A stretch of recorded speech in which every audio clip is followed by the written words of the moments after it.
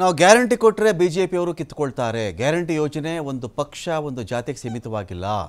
ಇದರಲ್ಲಿ ಹಿಂದೂಗಳಿಗೆ ಮಾತ್ರ ಗ್ಯಾರಂಟಿ, ಮುಸ್ಲಿಮರಿಗೆ ಮಾತ್ರ ಗ್ಯಾರಂಟಿ, ಕ್ರಿಶ್ಚಿಯನ್ಸ್ಗೆ ಮಾತ್ರ ಗ್ಯಾರಂಟಿ ಎಸ್ ಸಿಗಳಿಗೆ ಮಾತ್ರ ಅಂತಿಲ್ಲ. ಗ್ಯಾರಂಟಿ ಯೋಜನೆಯನ್ನು ಬಿ ಜೆ ಪಿ ಕಾರ್ಯಕರ್ತರು ಪಡ್ಕೊಳ್ಬಹುದು, ಕಾಂಗ್ರೆಸ್ ಕಾರ್ಯಕರ್ತರು ಪಡ್ಕೊಳ್ಬಹುದು. ಬಿ ಜೆ ಪಿಗೆ ಓಟ್ ಹಾಕಿರೋರು ಪಡ್ಕೊಳ್ತಾರೆ, ಕಾಂಗ್ರೆಸ್ಗೆ ಓಟ್ ಹಾಕಿರೋರು ಪಡ್ಕೊಳ್ತಾರೆ. ನನಗೆ ಯಾರಾದರೂ ಗ್ಯಾರಂಟಿ ಬೇಡ ಅಂಥೇಳಿ ಗಿವ್ ಅಪ್ ಮಾಡಿಲ್ವಲ್ಲ? ಗಿವ್ ಅಪ್ ಮಾಡಿದ್ದಾರೆ ಯಾವುದಾದ್ರೂ ಪಾರ್ಟಿಯವರು? ಅವರುಗಳು ಎಲ್ಲ ಮನೆಗಳಿಗೂ ಕೂಡ ಯಾವುದೇ ಭೇದ ಭಾವ ಇಲ್ಲದೆ ಗ್ಯಾರಂಟಿ ಯೋಜನೆಗಳು ಹೋಗ್ತಾ ಇದೆ. ರಾಜ್ಯದಲ್ಲೇ ಆಗಲಿ, ಯಾವ, ಯಾರು ಯಾವುದಕ್ಕಾದರೂ ಓಟ್ ಹಾಕ್ಕೊಳ್ಳಿ ಬೇರೆ ಪಾರ್ಟಿಗೆ ಓಟ್ ಹಾಕಿದ್ದೀವಿ ಅಂತ ಹೇಳಿ ನನಗೆ ಈ ಗ್ಯಾರಂಟಿ ಯೋಜನೆ ಬೇಡ ಅಂತ ಗಿವ್ ಅಪ್ ನನಗಿದು ಬೇಡ ಅಂತ ಮಾಡಿರೋ ಉದಾಹರಣೆ ನಮ್ಮ ರಾಜ್ಯದಲ್ಲಿ ಇದೆಯಾ? ಇಲ್ವಲ್ಲ? ಈ ಒಂದು ಜಾತಿಗೆ ಮಾತ್ರ ಕೊಡ್ತಾ ಇದ್ದೀವಿ. ಇವರು ಕೊಡಲ್ಲ ನಾವು, ಇದೆಯಾ? ಈ ಧರ್ಮಕ್ಕೆ ಮಾತ್ರ ಕೊಡ್ತಾ ಇದ್ದೀವಿ. ಈ ಧರ್ಮದವರು ನಾವು ಕೊಡಲ್ಲ, ಇದೆಯಾ? ಇದರಲ್ಲಿ ಎಲ್ಲ ಪಕ್ಷ, ಎಲ್ಲ ಜಾತಿ, ಎಲ್ಲ ಧರ್ಮ, ಎಲ್ಲ ನಾಗರಿಕರಿಗೂ ನಿಷ್ಪಕ್ಷಪಾತವಾಗಿ ಗ್ಯಾರಂಟಿ ಯೋಜನೆಗಳಿದೆ ಅಂತ ಹುಬ್ಬಳ್ಳಿಯಲ್ಲಿ ಮಾಜಿ ಸಚಿವ ಎಚ್ ಎಂ ರೇವಣ್ಣ ಹೇಳಿಕೆ ಕೊಟ್ಟಿದ್ದಾರೆ. ಗ್ಯಾರಂಟಿಯನ್ನು ಎಲ್ಲ ಸಮುದಾಯದ ಜನ ಪಡ್ಕೊಳ್ತಾ ಇದ್ದಾರೆ. ನಮ್ಮ ಗ್ಯಾರಂಟಿಗಳನ್ನು ಮೋದಿಯವರು ಹೈಜಾಕ್ ಮಾಡ್ತಕ್ಕಂಥ ಕೆಲಸವನ್ನು ಮಾಡ್ತಾ ಇದ್ದಾರೆ. ಬೇರೆ ಬೇರೆ ಪಕ್ಷದ ನೂರ ನಲವತ್ತೊಂದು ಶಾಸಕರನ್ನು ಮೋದಿ ಹೈಜಾಕ್ ಮಾಡಿಕೊಂಡಿದ್ದಾರೆ. ಗ್ಯಾರಂಟಿ ಬಗ್ಗೆ ತಪ್ಪು ತಪ್ಪಾಗಿ ಮಾತನಾಡಿದಂಥ ಮೋದಿ, ರೇವಡಿ ಕಲ್ಚರ್ ಅಂದಿದ್ರು, ಬಿಟ್ಟಿ ಭಾಗ್ಯ ಅಂದಿದ್ರು, ಈ ಒಂದು ಗ್ಯಾರಂಟಿ ಯೋಜನೆಗಳಿಂದ ದೇಶ ದಿವಾಳಿ ಆಗಿಬಿಡುತ್ತೆ, ಇಂಥವಕ್ಕೆ ಮರಳಾಗಬೇಡಿ ಅಂತ ಹೇಳಿದರು.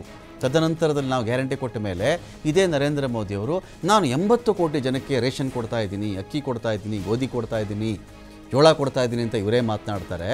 ಹಾಗಾದರೆ ಇವರು ಎಂಬತ್ತು ಕೋಟಿ ಜನಕ್ಕೆ ರೇಷನ್ ಕೊಟ್ಟಾಗ ದೇಶ ದಿವಾಳಿ ಆಗಲ್ವಾ? ದಿವಾಳಿ ಆಗುತ್ತಾ ಆಗಲ್ವಾ? ಗ್ಯಾರಂಟಿ ಬಗ್ಗೆ ತಪ್ಪು ತಪ್ಪಾಗಿ ಮಾತನಾಡಿದಂಥ ಮೋದಿ, ಈಗ ಗ್ಯಾರಂಟಿ ಯೋಜನೆಗಳಿಗೆ ಮೋದಿ ಕಿ ಗ್ಯಾರಂಟಿಯಿಂದ ಪ್ರಚಾರ ಮಾಡ್ತಾ ಇದ್ದಾರೆ. ರೈತರ ಆದಾಯ ಡಬಲ್ ಮಾಡಿಬಿಡ್ತೀವಿ ಅಂತ ಹೇಳಿ ರೈತರ ಮೇಲೆ ಜಲಪಿರಂಗಿ ಹಾರಿಸ್ತೋರು ಇವರು. ಲಾಠಿ ಚಾರ್ಜ್ ಮಾಡಿಸ್ತೋರು ಇವರು ದೆಹಲಿಯಲ್ಲಿ ಅಂತ ಹುಬ್ಬಳ್ಳಿಯಲ್ಲಿ ಮಾಜಿ ಸಚಿವ ಎಚ್ ಎಂ ರೇವಣ್ಣ ವಾಗ್ದಾಳಿ ಮಾಡಿದ್ದಾರೆ.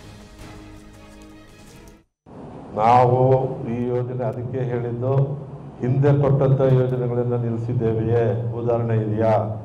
ಮುಂದೆ ಕೂಡ ಈ ಐದು ವರ್ಷ ಅಲ್ಲ, ಇನ್ನೂ ಐದು ವರ್ಷದವರೆಗೂ ಕೂಡ ಈ ಯೋಜನೆಯನ್ನು ಮುಂದುವರಿಸ್ತೇವೆ. ಅದೇ ಬಿ ಜೆ ಪಿಯ ಅಧ್ಯಕ್ಷರು ಈ ಯೋಜನೆಯನ್ನು ನಿಲ್ಲಿಸ್ತೇವೆ ನಮ್ಗೆ ಓಟ್ ಕೊಡ್ತಾ ಅಂತ ಹೇಳಿರೋದನ್ನು ಖಂಡಿಸ್ತೇವೆ. ಯಾಕೆಂದರೆ ಅವ್ರಿಗೆ ಜನರ ಅಭಿವೃದ್ಧಿ, ಜನರ ಬಗ್ಗೆ ಅವರ ಆರ್ಥಿಕ ಪರಿಸ್ಥಿತಿ ಸುಧಾರಣೆ ಆಗ್ತಕ್ಕಂಥದ್ದು ಅವ್ರಿಗೆ ಇಷ್ಟವಿಲ್ಲ. ಅವರು ಮಾತನಾಡ್ತಾ ಇದ್ದಾರೆ. ಮತ್ತು ಈ ಸರ್ಕಾರ ಬೀಳುತ್ತೆ ನಾವು ಸರ್ಕಾರ ರಚಿಸ್ತೀವಿ ಅಂತ ಹೇಳ್ತಕ್ಕಂಥ ಮಾತು ಕೂಡ ಸತ್ಯಕ್ಕೆ ದೂರವಾದದ್ದು. ನೂರ ಮೂವತ್ತೈದು ಶಾಸಕರಿರ್ತಕ್ಕಂಥ ಈ ಸರ್ಕಾರ, ಅದರಲ್ಲೂ ಜನಪರ ಯೋಜನೆ ಇರ್ತಕ್ಕಂಥ ಈ ಸರ್ಕಾರ ಯಾವುದೇ ಕಾರಣಕ್ಕೂ ಹೋಗಲ್ಲ ಅಂತಕ್ಕಂಥದ್ದನ್ನು ಹೇಳಿ ಈ ಯೋಜನೆಗಳನ್ನು ನಿಲ್ಲಿಸೋಕ್ಕೆ ಸಾಧ್ಯವಿಲ್ಲ. ಇದನ್ನು ಮುಂದುವರಿಸ್ತೇವೆ. ಈ ಹಿನ್ ಈಗ ಉದಾಹರಣೆಗೆ ನರೇಗಾ ಯೋಜನೆ ಕೇಂದ್ರ ಸರ್ಕಾರದಿಂದ ಕೊಟ್ಟಂಥ ನರೇಗಾ ಯೋಜನೆ ಇರ್ಬೋದು, ಇನ್ನಿತರ ಯೋಜನೆಗಳು ಇವತ್ತಿಗೂ ಕೂಡ ಯಾವುದೇ ಸರ್ಕಾರ ಬಂದರೂ, ಮೋದಿ ಸರ್ಕಾರ ಬಂದರೂ ಆ ಯೋಜನೆಗಳು ನಡೀತಾ ಇರ್ತವೆ. Right to information right to food act ಇವೆಲ್ಲ